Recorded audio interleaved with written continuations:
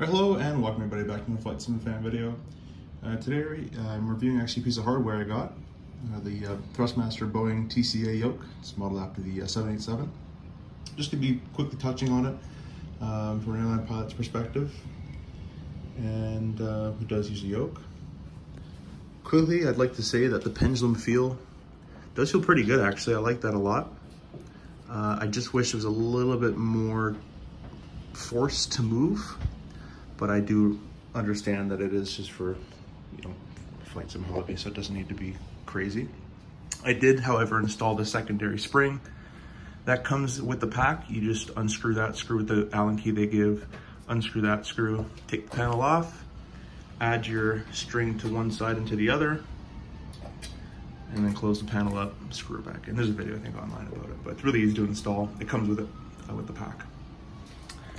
So just sitting with it in front, you'll notice this part comes out quite a lot um, from, sorry about the siren outside, but from the yoke. And that's because of the pendulum aspect of it.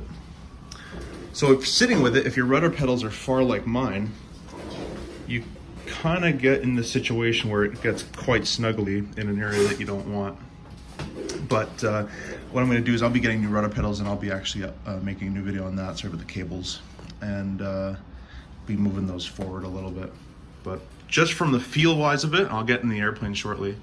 Uh, it feels really nice. Uh, obviously, most yokes don't have an aileron trim on that. It's bound to that by default. I think there's an aileron, there's a rudder, but it just gives you more buttons. I demapped those. Um, so I have it set up in a first officer setup throttle on the left, piano chair, great mounting system. And uh, I'm this by default will look around. It's like a little Xbox hat. However, I've mapped this to nose up trim, nose down trim. Works really well. I've remapped that to autopilot disconnect.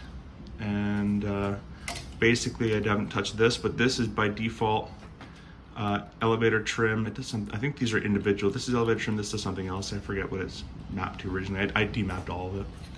And then uh, this one's not a hat, but it's more of a click, let go, and it kind of snaps back to center. So I have that set to what its default is, which is just views that it does. And again, that's autopilot disconnect in case you want to set the throttle on the other side.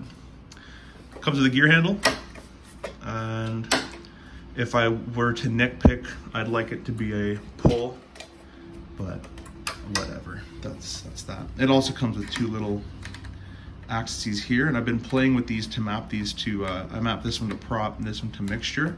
They're very sensitive, so I have to play with the sensitivity in the settings to make minor adjustments to that.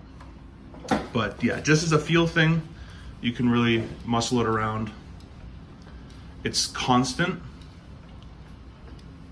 between the uh, movements. Though that's the one thing that I did not like, and that's why I did not purchase the honeycomb yoke, is because the roll is super loose and the pitch is ridiculously stiff. And I don't know what physics that is going. Uh, no airplane flies like that, so it should be consistently the same pressure.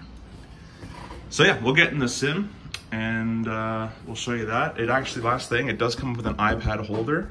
So you were to put your iPad here, I know it's upside down, but you can look at your charts and all that kind of stuff. And yeah, so it's pretty sweet. And I'll jump in the sim now.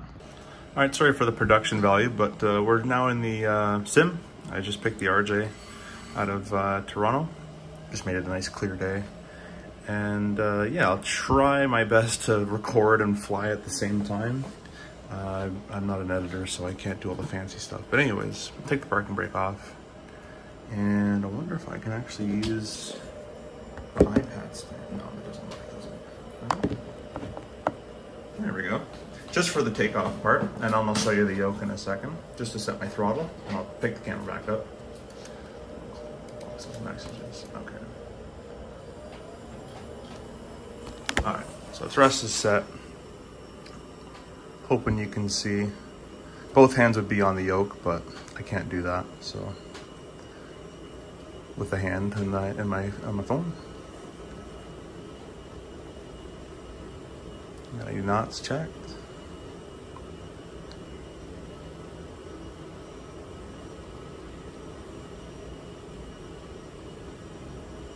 V1 rotate, so you can see just a nice hold that pressure in.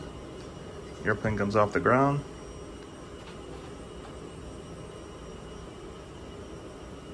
And then for gear, you can simply just come here and right, grab the gear up. I'll grab my speed mode and heading mode. But just looking at the movement of the yoke, hopefully you can see, obviously the faster I roll it, or the more I roll it, the faster the aircraft rolls, just like a regular airplane but it's very controllable. It feels really good in the hand. Uh, hand flying is actually a lot more fun. I used to use uh, the Virpil stick, which is still great, and it's mainly for DCS, but um, it just feels nice to have a nice solid yoke in your hand. So, especially when you start doing, if you're doing GA stuff and you got the feet with the, uh, for side slip for drift correction, you got like left rudder in, and then you got right yoke, you can really obviously you shouldn't be doing this in the CRJ, but you can really control the uh, crosswind correction in those GA aircraft a lot better, even in the CRJ when you're doing the crab method. So hopefully that helps uh, your purchase. Um, give it a thumbs up. Worth the price. Again, um, the good things, I'll just pause this in. Gear handle's a nice touch.